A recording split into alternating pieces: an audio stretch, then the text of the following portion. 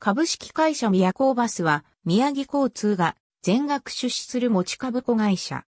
主に宮城県全域でバス事業を行う会社で仙台都市圏においては親会社の宮城交通が大半だが一部において宮古バスも事業を行っている。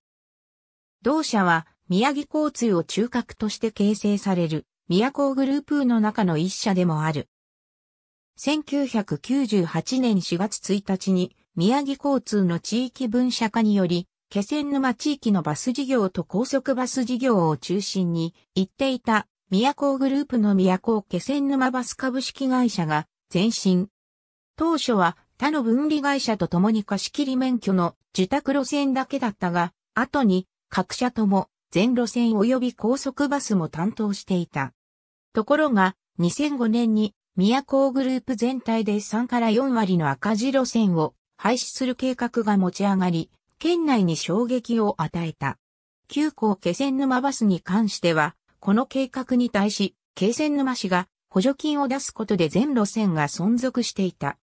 2007年1月1日、宮城交通以外の分離時、会社7社における事業整理を目的に、唯一黒字経営であった宮古気仙沼バスを宮古バスに称号変更をし、宮城交通以外の分離市会社各社が行っていたバス事業をすべて譲り受けた。これに伴って残る6社に関しては会社生産している。なお2007年4月から栗原市の委託を受けて栗原田園鉄道の廃止代替運行を担うことになった。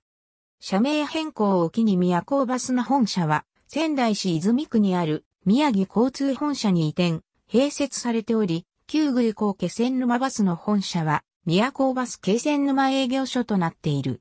仙台市泉区泉ヶ丘3丁目13の20は、アイクスカでの乗車が可能な路線。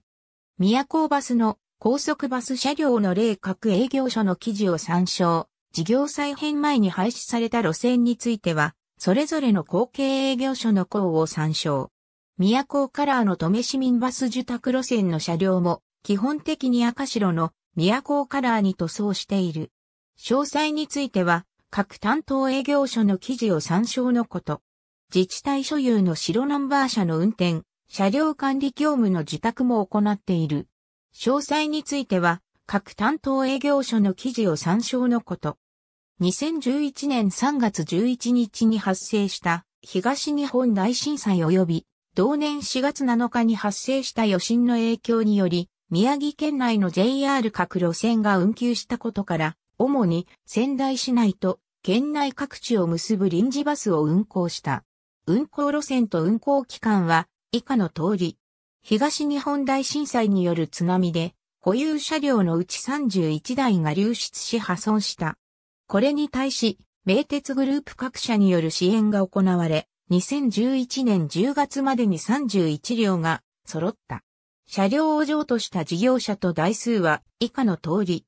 これらの車両は一部を除き気仙沼、石巻の両営業所に配置されたが、わずかな期間で新車と入れ替わった。現在は数両が使われるのみ。2012年8月20日、JR 気仙沼線における BRT 暫定運行開始に伴い、宮古バスが運行に関する業務を受託した。暫定開業期間中は、宮古バスに車両を貸し出す形をとったため、バス車体の社名表記は、宮古バス表記であった。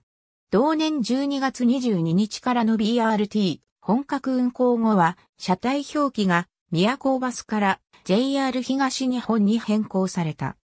2013年3月2日からの JR 大船渡線 BRT 運行開始に際しては、路線バス鹿織金山線の気仙沼駅、上市し織駅間を BRT 扱いで運行している。ありがとうございます。